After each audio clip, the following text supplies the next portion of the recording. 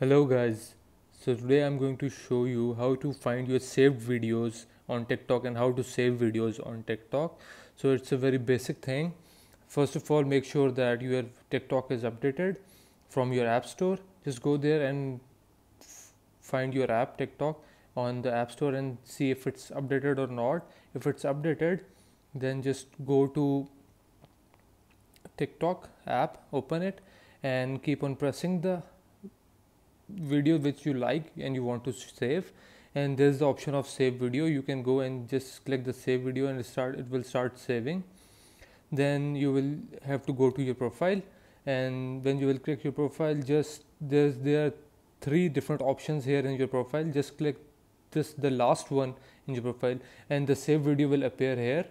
So right now my video is not saving because it's taking some time to get saved because my net is bit slow. So just this is how you can save a video and there's there this is the place where you can find your saved video. So i hope you liked the video and found the solution to your problem. Thank you so much uh, for watching. I hope you liked the video. Kindly like the video and subscribe the channel. Thank you so much